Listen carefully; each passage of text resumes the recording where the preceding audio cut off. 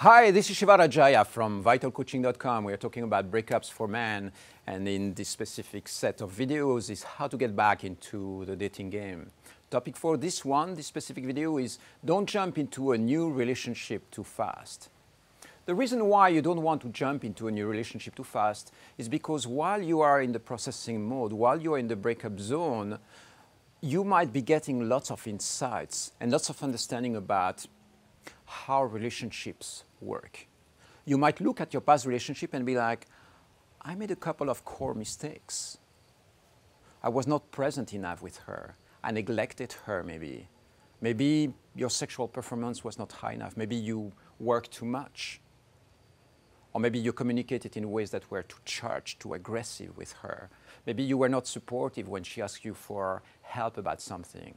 Maybe you didn't listen enough. Maybe you didn't see the warning signals. Maybe you didn't validate her enough. There can be all sorts of things that you did in the past relationship that you think, I can do better. I can be a better partner.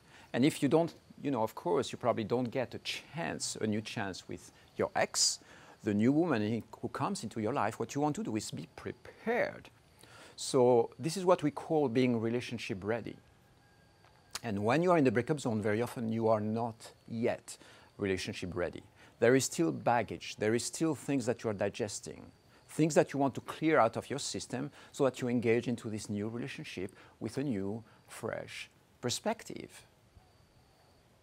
This is the core idea. It is the idea that you want to arrive in this new relationship once you have pressed the reset button you are emotionally clear.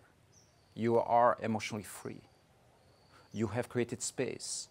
Your personal space is clear.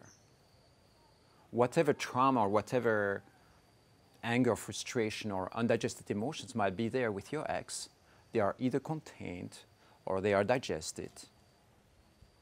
They have no chance of invading the space of the new relationship. This is why you don't want to jump too fast into a new relationship.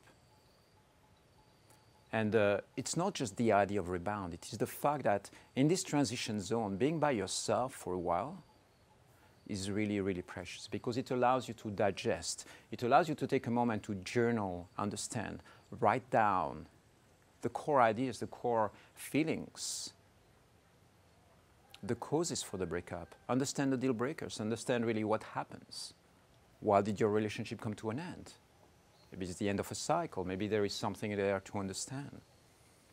And so don't jump in too fast in a new relationship. Take the time to pause. Take the time to witness, observe, be present with your feelings.